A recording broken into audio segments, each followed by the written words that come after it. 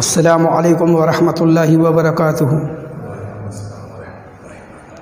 इन्नल्हम्दुलिल्लाह नहमदुहु व नस्तईनुहु व नस्तगफिर व नऊज़ु बिल्लाहि मिन शुरूरि अनफुसिना व मिन सय्यिआति अअमालिना मन यहदिहिल्लाहु फला मुज़िल्ल लहु व मन युज़लिल फला हादिय लहु व अशहदु अन ला इलाहा इल्लल्लाह वहदहु ला शरीक लहु वअशहदु अन्न मुहम्मदन अब्दुहु व रसूलुहु अम्मा बअद फ़इन्न खैरल हदीस किताबुल्लाह व खैरल हदी हदी मुहम्मद सल्लल्लाहु अलैहि वसल्लम व शर्रल उमूरि मुहदसातुहा व कुल्ल मुहदसतिन बिदअ व कुल्ल बिदअतिन ज़लाला व कुल्ल ज़लालतिन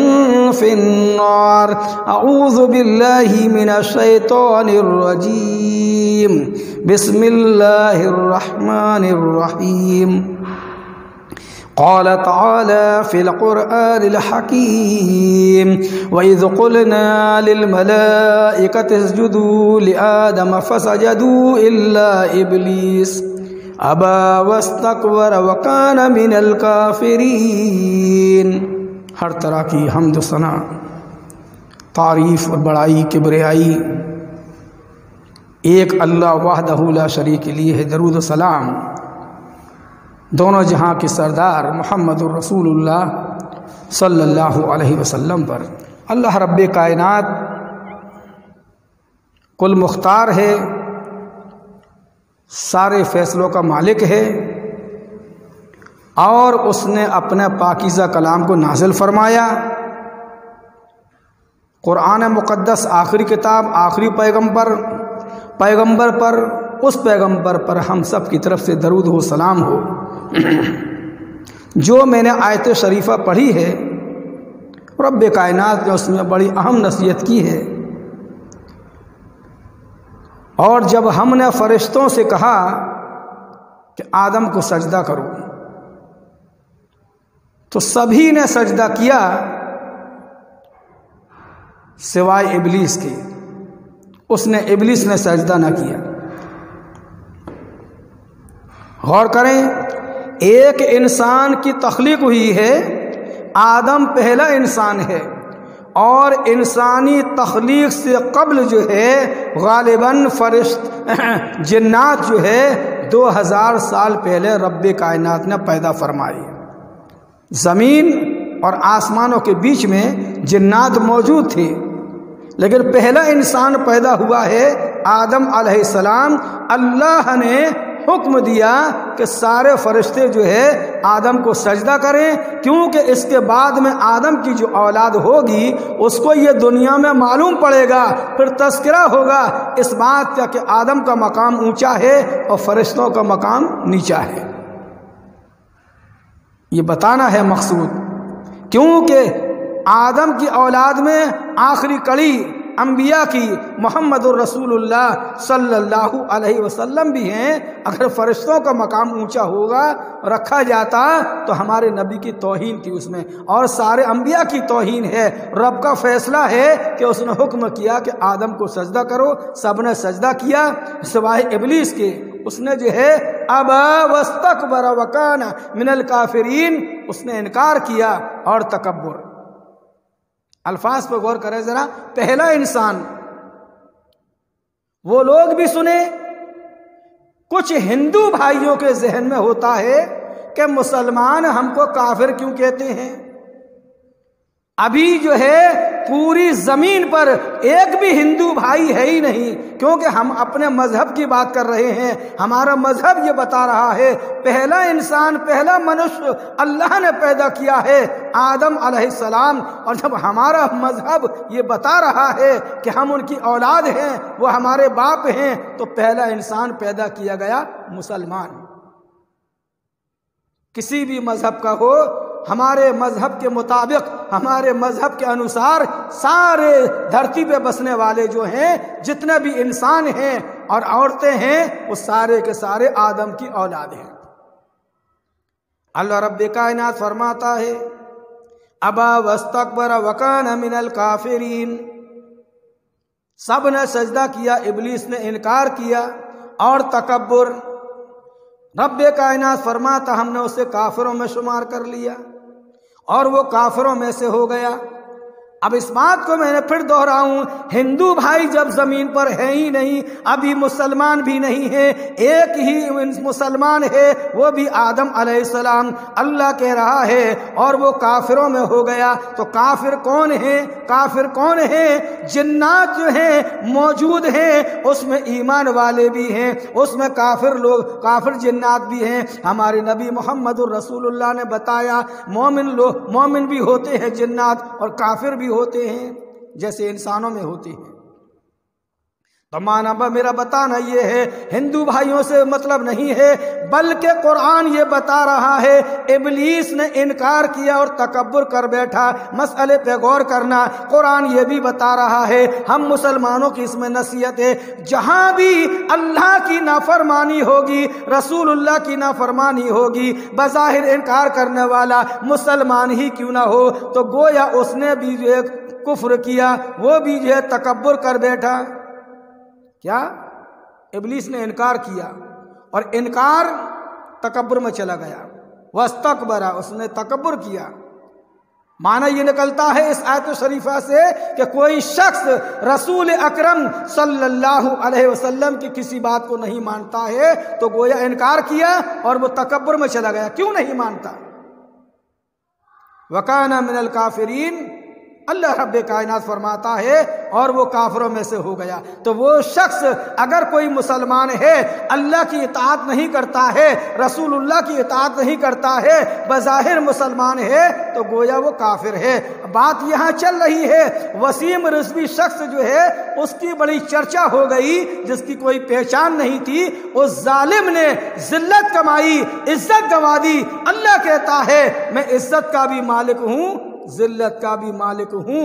अभी कुरान के ऊपर उसने जहरीला तीर चलाया, जहरीली बात छोड़ी, हमला किया।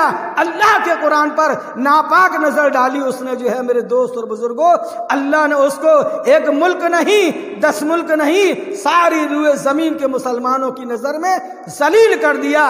उससे जो है नापाक चौपाए भी बेहतर हैं, हत्या के नाम लेकर कहूँ, कुत्ता भी बेहतर है खिनजीर भी बेहतर है लेकिन वसीम रिजवी उससे भी ज़्यादा गया, गुजरा, हो गया। क्यों? जो कुरान पे शक करे, एक मुसलमान अगर कुरान पे शक करता है तो गोया उसका शक मोहम्मद और रसूलुल्लाह की जात पर भी होगा फिर। वो शक अल्लाह की जात पर भी जाएगा। इस बात को समझना है। इनकार, इबलीस ने कितना इनकार किया? एक हुक्म का अल्लाह ने कहा, सजदा करो, इबलीस ने इनकार कर दिया। क्या दर्जा पाया? काफिरों में हो गया।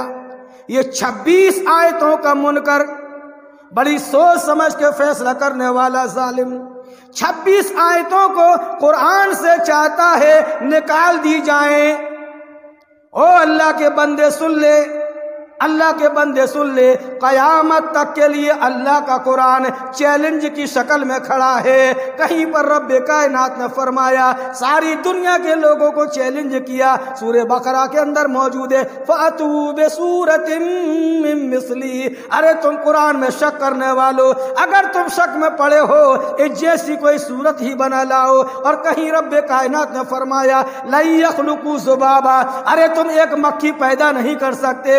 अल्लाह अल्लाह के अलावा अपने शुरका को बुला लो, अपने हिमायतियों को बुला लो, अपने माबूदान के आगे झुक जाओ, उनको पुकारो, एक मक्खी पैदा नहीं कर सकते। कुरान का चैलेंज मुख्तलिफ़ अंदाज में मुतद मकाम पर खड़ा हुआ है। और कोई जो है इस चैलेंज को तोड़ नहीं सकता। ये जालिम ने आवाज़ उठाई है। छब्बीस आयतों को निकाल दी जाए। ये आतंकवाद की तालीम देती हैं। अल्लाह के बंदे सुन ले। एक मुसलमान छब्बीस आयतें तो क्या हैं? एक नुक्ते को भी कुरान से नहीं हटा सकता। अगर मुसलमान है तो एक नुक्ते को भी हेर फेर नहीं कर सकता। एक जबर को ऊपर नीचे नहीं कर सकता। 26 आयतों तो बहुत दूर है, जो शराबी है, जानी है, जुआरी है, बदअमल इंसान है, वो भी इतनी नापा घटिया बात नहीं कह सकता, वो भी कुरान पे शक नहीं कर सकता। ये जालिम, वसीम रिजवी, उनसे भी ज़्यादा गया गुजरा हो गया। एक शराबी भी बात करते में डरेगा। मेरे भाइयों, अगर वो नशे में है, जब भी कुरान का अदब करेगा। वो जानता है। जो आदमी आपने भी देखा होगा, कुछ लोग अमल वाले नहीं होते, लेकिन ईमान उनका भड़क जाता है। अल्लाह की किताब पर जब आँच आती है, रसूलुल्लाह वसल्लम की ज़ात मुबारक पे आँच आती है, कहीं किसी सहाबी की तोहीन पे आँच आती है, गुस्ताखी होती है तो कमज़ोर जो बदअमल लोग होते हैं, उनका ईमान भड़क जाता है। बात आती है इस्लाम की हिफाजत की, इस्लाम को बचाने की, वही लोग अपना खून और पसीना बहाते हैं। हाँ दिन पीछे रहते हैं। अवामुन्नास ही कुर्बानी देती है और अल्लाह पाक जिसकी नियत जिसकी नियत के हिसाब से उसकी उस कुर्बानी को कबूल कर ले मेरे दोस्त और बुज़ुर्गों। बताना यह है, वसीम रिजवी 26 आयतों तो दूर है 26 छह नुक्ते भी हेर फेर नहीं हो सकते। ये जालिम 26 आयतों को निकलवाने का मशवरा देने वाला, अपील करने वाला, उससे पहले ये तय है, कुरान जिस हालत में है, उसी हालत में रहेगा। तू जालिम इस ज़मीन से तू ही निकल जाएगा। अल्लाह पाक इसको जो है हिदायत अता फरमाए, या इस जालिम को इस ज़मीन से नेस्तो नाबूद फरमाए। आमीन। जिसका शक हो कुरान के ऊपर, उस कुरान का आगाज़ देखिए, कुरान का इब्तदा देखिए रब कायनात ने फ़ौरन फरमाया, दूसरी आयत में अलिफ्लामीम जालिकल किताब उलारई बफी हुदल मुत्तकीन, के वो लोगों इस किताब में शुबे की भी गुंजाइश नहीं। हुदल मुत्तकीन अब ये कुरान बड़ी किताब है। इब्तदा में ये आगाज़ बताया जा रहा है कि ये किताब जो है परहेजगारों की रहनुमाई करती है। परहेजगारों की रहनुमाई करती है। अल्लाह अकबर। तो बताना ये है, गौर करना, कुरान मुकद्दस बता रहा है, वल फितन तु अशद मिनल कत्ल। कुरान की सदाकत देखिए। आज फितना खड़ा हुआ है, कल भी फितना खड़े होते हैं और कल भी होते रहेंगे। नबी का फरमान है कि मेरे बाद बहुत ज़्यादा इख्तलाफ पाओगे और फितने भी देखोगे। ये फितना है, ये आदमी ने ये कुरान कह रहा है, वल फितना तू अशद मिनल कत्ल। फितना फितना सख्त गुना है। कत्ल से भी ज़्यादा सख्त गुना है, अल्लाह की नज़र में। अब कैसे? देखिए आप, अगर वसीम रिजवी जालिम जो है, ये कुरान का गुस्ताख, अगर हिंदुस्तान में किसी जगह कत्ल कर देता किसी का तो चर्चा में नहीं आती इतनी। इतना शोर शराबा ना होता। मुसलमानों की इज़्ज़त पे आँच ना आती, मुसलमानों के ईमान ना भड़कते। इसने फितना पैदा किया। कत्ल करता तो शोर बर्पा नहीं होता। इसने फितना खड़ा कर दिया कि कुरान पे शक है। 26 आयतें ऐसी हैं जो आतंकवाद की तालीम देती हैं। ये आतंकवाद उसमें नज़र आता है। गौर कर ले, वसीम रिजवी ही नहीं, ऐसे और सालिम खड़े हो जाए जिनका शक कुरान पर है। उनका शक जनाब मोहम्मद रसूलुल्लाह सल्लल्लाहु की जात मुबारक पर भी है। अगर मुसलमान आवाज़ ना उठाते मुतहद होने की, वसीम रिजवी के खिलाफ तो ये जालिम मुझे उम्मीद है, कल ये कह सकता था, इसमें कोई शक नहीं है कि मोहम्मद रसूलुल्लाह भी नाउजुबिल्ला आतंकवाद थी। और जहाँ बात यह है 26 आयतों को निकाला जाए, वो जालिम से पूछो, इन आयतों को नाजिल करने वाला कौन है? अल्लाह है। तो नाउजुबिल्ला ऐसे आदमी की नज़र में अल्लाह आतंकवाद है। फिर अल्लाह ने कुरान अमानत के तौर पे सौंपा, जिब्राइल अमीन को तो जिब्राइल अमीन भी ऐसे जालिम की नज़र में आतंकवाद है। और जिस जात मुबारक पे अमानत के तौर पर सौंपा गया अब्दुल्ला के बेटे मोहम्मद रसूलुल्लाह सल्लल्लाहु अलैहि वसल्लम पर आहिस्ता आहिस्ता तेईस साल में ये कुरान उतारा गया। मेरे दोस्त और बुज़ुर्गों और प्यारे मोहम्मद और रसूलुल्लाह ने उन 26 आयतों पर अमल किया, मेरे भाइयों, अमल किया तो गोया जो है, क्या ये आदमी हमारे नबी के बारे में शक नहीं कर रहा? वो 26 आयतों को नबी ने अपनाया, नबी ने उसकी तालीम दी। मेरे भाइयों, असहाब रसूल ने भी उस पर अमल किया और ताबईन ने भी अमल किया, तब ताबईन ने भी अमल किया, बुजुर्गान दीन ने भी उसको माना आयमान दीन ने भी उसको माना नेकसालहीन ने भी माना और जिसके दिल में राई के दनाबा बराबर ईमान होगा, वो 26 आयतों को सर के बल चल के मानेगा। क्योंकि अल्लाह का कलाम है हम खराब हैं, हम गुनागार हैं। अल्लाह के कलाम में जिसने शक किया, वो काफिर है, मुनकर है। अल्लाह का गुस्ताख है, कुरान का गुस्ताख है और मोहम्मद रसूलुल्लाह का गुस्ताख है। छब्बीस आयतें निकालने की बात है। इस जालिम से पूछो, फिर बाद में हदीस की भी शर्त लगाएगा, इन हदीसों को भी हटाया जाए, है ना? क्योंकि अल्लाह के नबी फरमाते हैं, अल्लाह के नबी फरमाते हैं, आपने असहाब में बताया ऐ लोगो, एक नेकी ऐसी है जिसके करने से अल्लाह पाक जन्नत में उस बंदे के लिए सौ दर्जे बुलंद करता है। हदीस के अंदर आता है। अल्लाह के नबी ने फरमाया, जिसके करने से, एक ऐसी भी नेकी है नबी फरमा रहे हैं, जिसके करने से अल्लाह पाक उस बंदे के जन्नत में सौ दर्जे अता बुलंद करता है।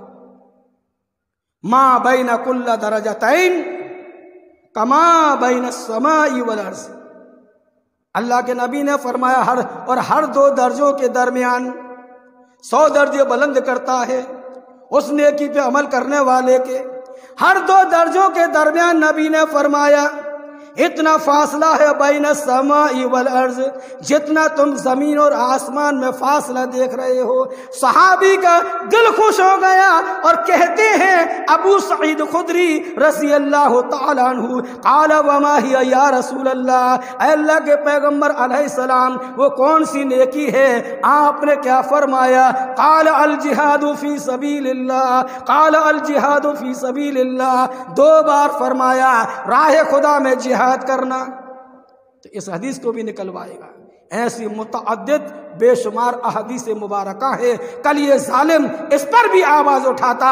ऐसे जालिम की जबान पर मुसलमानों ने अपने ईमान का जोश दिखाते हुए अपील करी कि ऐसे शख्स को जो है बुरे से बुरा कहा गया। ये क्यों कहा गया? उसने अल्लाह के पाकिजा कलाम पर हमला किया है। मेरे दोस्त और बुजुर्गो, हम तो चाहते हैं सरकार से अपील है, जो भी आदमी हो, किसी भी मज़हब का हो, किसी भी के मज़हब को छेड़खानी करता है, हमला करता है और तासुब फैलाता है, भड़काऊ बात करता है, ऐसे आदमी को फ़ौरन जेल खाने में डाला जाए। यही आदमी दहशतगर्द है। अभी मुसलमानों में खून खराबा हो जाता तो कोई आदमी इसका कत्ल कर दे जालिम का तो तो कत्ल तो उसने हक किया, लेकिन फसाद बर्पा होगा। इसलिए मेरे दोस्त और बुज़ुर्गों, इन बातों को हमें समझना है। अल्लाह के नबी अलैहिस्सलाम फरमाते हदीस के अंदर आता है, हदीस के अंदर आता है, सबसे बेहतर सबसे बेहतर मेरी उम्मत के वो लोग जो जंगे बदर में मेरे साथ मिलकर लड़े, लड़ने की बात। मेरे साथ मिलकर लड़े। नबी फरमाते हैं, सबसे बेहतर अल्लाह के फरिश्तों में से वो फरिश्ते जो जंगे बदर में अल्लाह ने मेरी मदद फरमाई, मेरे कांधे से कांधा मिलाकर कुफार से मेरे साथ लड़े। ये भी हदीस तालीम दे रही है। लेकिन जिहाद, बात जिहाद की है हाँ हाँ छब्बीस आयते, अरे अल्लाह के बंदो सोचो, हर शख्स मुजाहिद है। हर शख्स मुजाहिद है, हर शख्स जिहाद करता है। जिहाद का माना है जद्दोजहद करना। आप अपने घर की कितनी निगरानी करते हैं हैं? क्या जद्दोजहद नहीं है?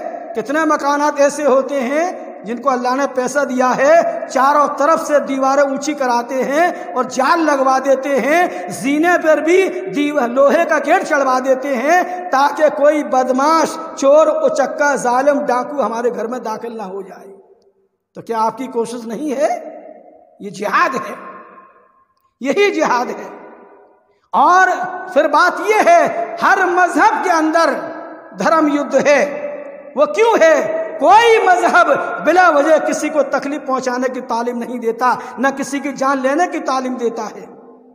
अब कोई आदमी शरीफ ज़िंदगी गुजार, आप सरकार की ज़िंदगी देखिए, सरकार की तरफ़ देखिए। एक बस्ती की बात करता हूँ, एक बस्ती में लोग सुकून के साथ रह रहे हैं, कोई गिरोह आता है पाँच छह बदमाश आते हैं, रात में आते हैं, असलहा के साथ आते हैं। अब शरीफ आदमी कैसे मुकाबला करे? लोग उनकी एफआईआर कराते हैं।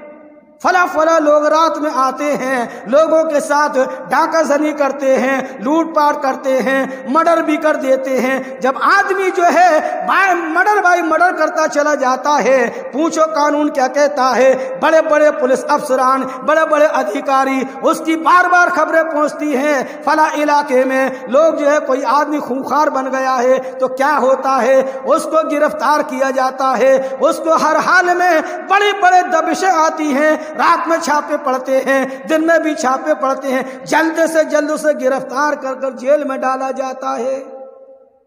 और ज़्यादा ही बदमाश है, क्या अखबार नहीं भरे इस चीज़ से? क्या कोई पोशीदा बात है? वो जालिम ऐसे ऐसे खूंखार, डाकू होते हैं। पुलिस पर भी हमला करते हैं। उधर भी पाँच आदमियों के बदमाशों का गिरोह है। यहाँ भी एक पुलिस की गाड़ी है। बराबर फायरिंग हो रही है। क्या दोनों तरफ़ से जख्मी नहीं होते? क्या पुलिस मेहनत नहीं कर रही? ये पुलिस का जिहाद है। उनको हर तरह से पकड़ना है। इन बदमाशों को इस धरती पर नहीं रहना है। उनका इनकाउंटर कर दिया जाता है ताकि हमारी भी जानें, सुरक्षित रहें और दीगर लोग भी लूटपाट से बचे रहे। अगर सरकार जो है इस काम को हटा दे तो बदमाशी इतनी बढ़ जाएगी, आपका चलना फिरना दूबर हो जाएगा। अल्लाह रब्ब कायनात फरमाता है, मेरे दोस्त और बुज़ुर्गों, उस बात को फिर दोहराऊं हल्का सा, क्या? कि जब कोई आपके ऊपर आतंक मचाता है, आप बराबर थाने में एफआईआर कराते हैं। उसकी जो है, फ़ौरन जो है कार्रवाई होती है, और वो जालिम पकड़ा जाता है। किसी भी मज़हब का हो, जी।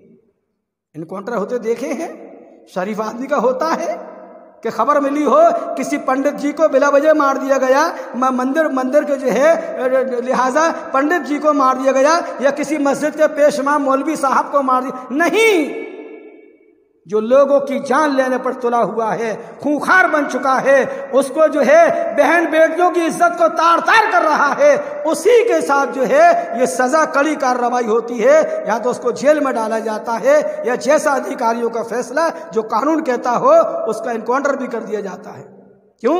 ये आदमी आतंकवादी बन चुका है, इसको लोगों के बीच में रहने का अधिकार नहीं है। जी,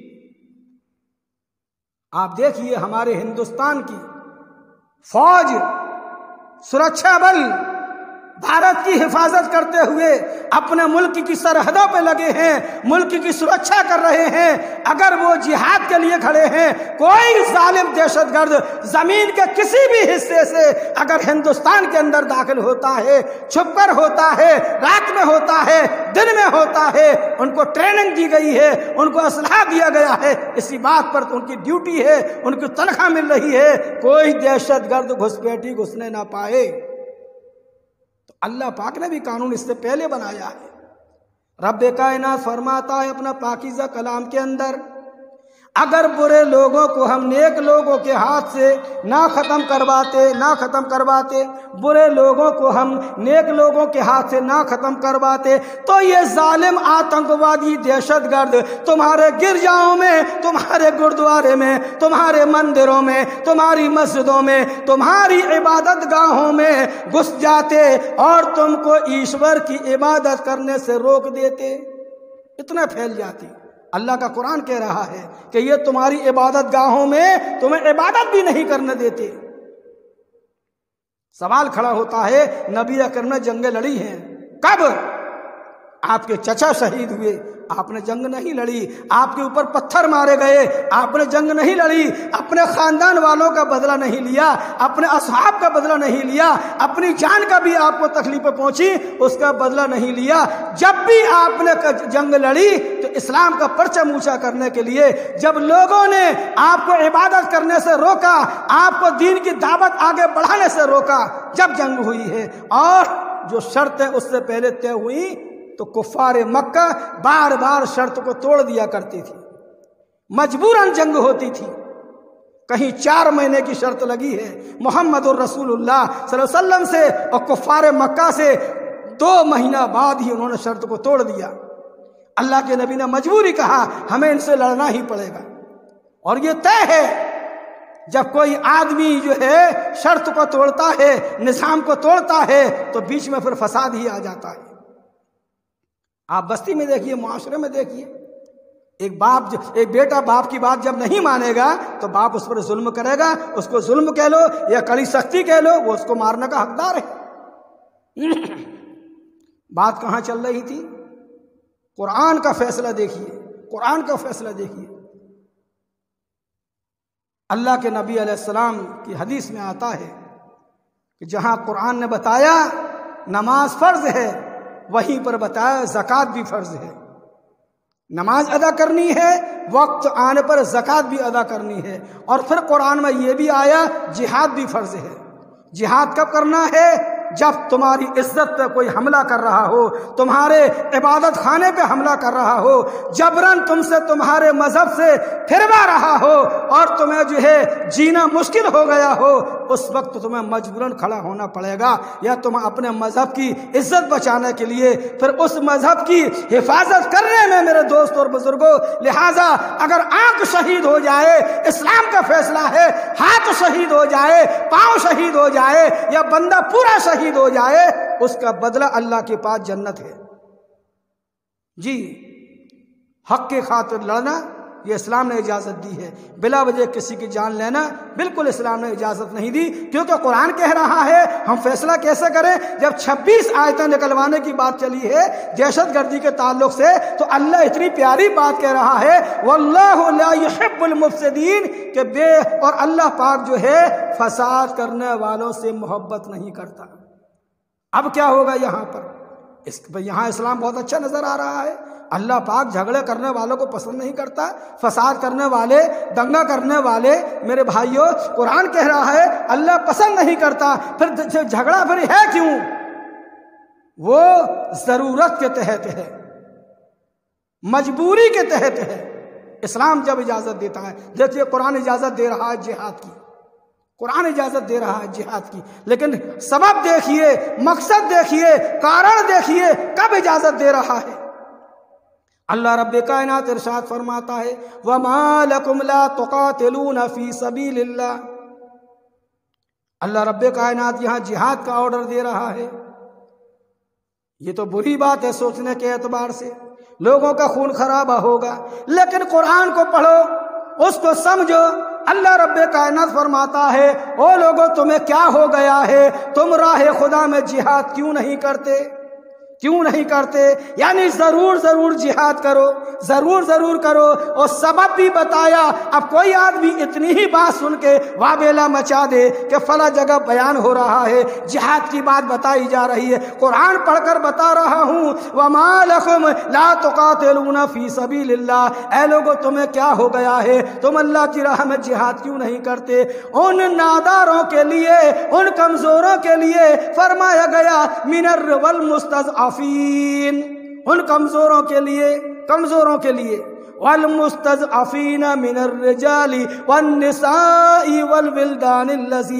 उन कमज़ोरों के लिए उसमें कमज़ोर मर्द हैं, कमज़ोर औरतें हैं, ज़यीफ़ औरतें हैं, बूढ़ी औरतें हैं और छोटे छोटे नन्हे नन्हे बच्चे हैं। अल्लाह कह रहा है, और वो फरियाद कर रहे हैं, यकूलून रब्बना अखरजना अखरजना मिन हाजिल करियत वो आवाज़ लगा रहे हैं, कुरान कह रहा है, ऐ मेरे परवरदिगार, ऐ आसमान के बनाने वाले, ऐ ईश्वर, इस बस्ती से हमको निकाल दे, इस बस्ती से हमको निकाल दे, क्योंकि यहाँ के रहने वाले जालिम हैं, वो दुआ कर रहे हैं।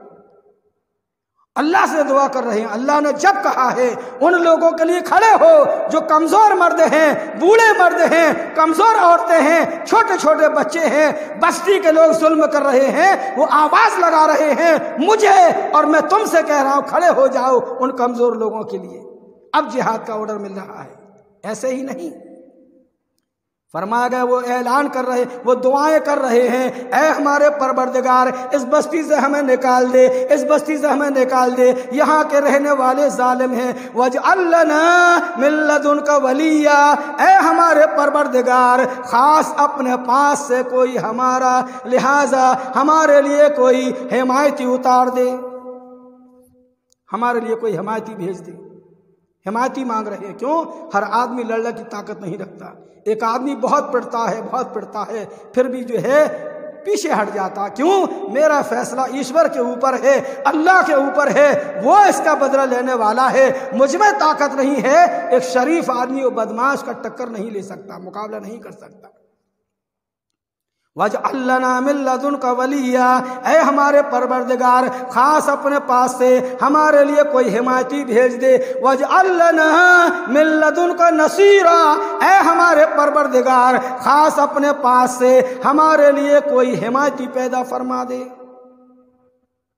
वहाँ कहा गया, हमारे लिए कोई दोस्त मुकर कर दिए हमारी तरफ़ से इनसे मुकाबला करे, हम में लड़ने की ताकत नहीं। कौन? कमज़ोर मर्द, कमज़ोर औरतें छोटे छोटे बच्चे कुरान कह रहा है वलविल्लाजीन मासूम बच्चे अल्लाह को याद कर रहे हैं। अभी इस मंजर को यूँ ले लीजिए, आपकी बस्ती में जो है, कोई जालिम कहीं से आ जाए, चारों तरफ़ से मुहासरा कर ले, किसी गाँव का मान लो तो गाँव वाले बेचारे शरीफ हैं, हर आदमी के पास तैयारी नहीं होती है, डाकू बदमाश आ जाए, फायरिंग हो रही है, अंधाधुंध हो रही है, शरीफ आदमी घर में बैठ बैठकर अल्लाह को याद करेगा, ईश्वर को याद करेगा, ए अल्लाह, ए ऊपर वाले, हमारे गाँव में चैन, सुकून, शांति पैदा फरमा दे। तो जिहाद कब है? अब है मेरे दोस्त और बुज़ुर्गों, इसलिए जो है, जहाँ इस्लाम इस्लाम पे आफत आएगी, इस्लाम पे आँच आएगी, उस वक्त जिहाद का हुक्म दिया गया है और फरमाया जाता है, हज़रत अबू बकर सिद्दीक रज़ी अल्लाह तु उम्मत के सबसे बेहतर इंसान। सबसे बेहतर इंसान।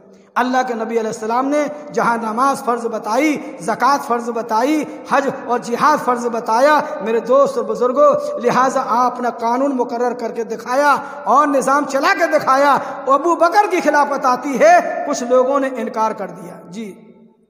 क्या? कुछ लोगों ने। हम नमाज़ तो पढ़ेंगे, ज़क़़त नहीं देंगे। सारी दुनिया के मुसलमान जानते हैं। अबू बकर सिद्दीक रसी अल्लाह तु से ज़्यादा मिलनसार रहम दिल दयालु न पैदा हुआ है। उम्मत के अंदर न कोई पैदा होगा। जब आपको खबर मिलती है, कुछ लोग जक़ात के इनकारी हो रहे हैं। आपने फरमाया, वल्लाही लौकात मन फर्रका बैन सलाती व जक़ात। कि लोगों सुन लो, जो लोग नमाज़ और जक़ात के बीच में तफरीक पैदा कर रहे हैं, फ़र्क कर रहे हैं कि नमाज़ तो पढ़ेंगे, जक़ात नहीं देंगे। अल्लाह की कसम, अबू बकर की उससे जंग होगी। अबू बकर उससे ज़रूर लड़ेगा। अबू बकर ने लड़ने की बात कब करी है? जब वो लोग कह रहे हैं, कुरान के मुताबिक, हदीस के मुताबिक, जो चीज़ फ़र्ज़ है, हम नहीं देंगे। तो जब अबू बकर ने कहा है, अबू बकर उससे ज़रूर लड़ेगा। यहाँ तक फरमा फरमाया अगर जानवर को बांधने की रस्सी भी जक़ात में आ रही होगी एक रस्सी के खातिर भी जंग लड़ूँगा। तो अबू बकर ने लड़ने की बात कब करी है? जब इस्लाम के कानून को, एक रुकन को ढाने की बात हुई है वहाँ से, कि नमाज़ तो पढ़ेंगे, जक़ात नहीं देंगे। जक़ात क्या है? अब्दुल्ला इब्ने मसूद साहबी फरमाते हैं, मैं इस अनुमान पर नहीं जाना चाहता, जो शख्स जक़ात नहीं देता, उसकी नमाज़ भी नहीं होती। तो क्या? अबू बकर ने बात कब करी है? जंग लड़ने की जब इस्लाम के, के अंदर से लोग तफरीक पैदा करने लगे मेरे दोस्त और बुज़ुर्गों। जब बात करी है जंग लड़ने की बिला वजह नहीं अपने खातिर नहीं। क्यों नहीं दोगे जक़ात? उनका अपना जाति मामला नहीं है। ये अल्लाह के दीन का मामला है। एक आदमी बिल्डिंग में सो रहा है उसका पड़ोसी भूखा सो रहा है उसका पड़ोसी बहुत कमज़ोर है तंग दस्त है। कौन उसकी खबर गिरी करेगा? अभी तुम दुनिया का निज़ाम देखो।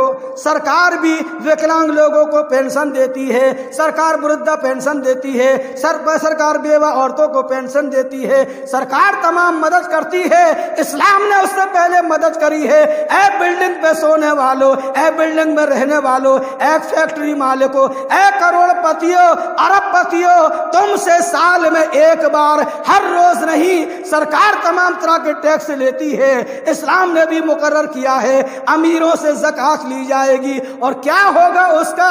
गरीबों की देख रेख होगी, बेवा औरत की मदद की जाएगी, फुकरा लोगों की मदद की जाएगी, यतीम बच्चों की मदद की जाएगी। जो बच्चे मदरसों में पढ़ते हैं, उनके माँ बाप गरीब हैं, लेकिन शरीफ इंसान बनाना चाहते हैं, मेरा बच्चा कारी बन जाए, मेरा बच्चा हाफिज बन जाए, मेरा बच्चा मौलवी बन जाए। मेरे भाइयों, धर्म की पढ़ाई पढ़ाना कोई बुरी बात नहीं है। अल्लाह के बंदो ऐसे गरीब बच्चों के ऊपर जक़ात खर्च करी जाएगी ताकि कोई भीख मांगने वाला दर दर न मिले।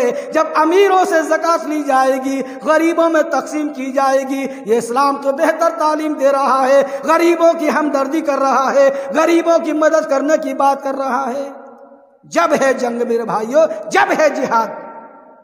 वरना फिर वही बात है वल्लाबुलमफसदीन बेशक अल्लाह अल्लाह ताला जो है, और अल्लाह ताला जो है, फसाद करने वालों को पसंद नहीं करता। तो जिहाद ऐसे ही नहीं है, मेरे भाइयों, इसलिए जो है, परवरदिगार आलम, हमें भी जो है, और आपको भी, और तमाम रुए ज़मीन पर सारे मुसलमानों को बिलखसूस तर्जुमे के साथ अल्लाह कुरान पढ़ने की तोफ़ी अता फरमाई ताकि हमें मालूम पड़े ये कुरान क्या कहता है। कुरान हर बेहतर तालीम देता है और जितनी बुराई तुमको नज़र आ रही है, जुआ, शराब, सट्टा, जना, झूठ मकारी डाका, सनी, हर बुराई से इस्लाम रोकता है, हर बुराई से कुरान रोकता है। और यही सीरत, यही लक्षण जनाब मोहम्मद रसूलुल्लाह के थे। आप हर बुराई को मैटने आए थे और हर भलाई को आगे पहुँचाने आए थे। मेहरान, बात बहुत लंबी है, मैं अपनी बात को यहाँ से ख़त्म करता हूँ।